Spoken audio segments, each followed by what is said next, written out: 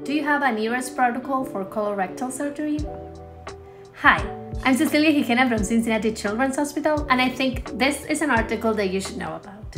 This is a meta-analysis done in China that wanted to analyze the effects and safety of ERAS protocol for colorectal surgery in pediatric patients.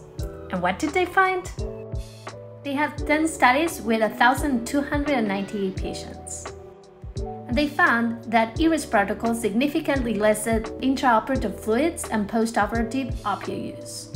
It also shortened time to bowel return and first enteral nutrition, as well as reduced hospital length of stay and hospital costs.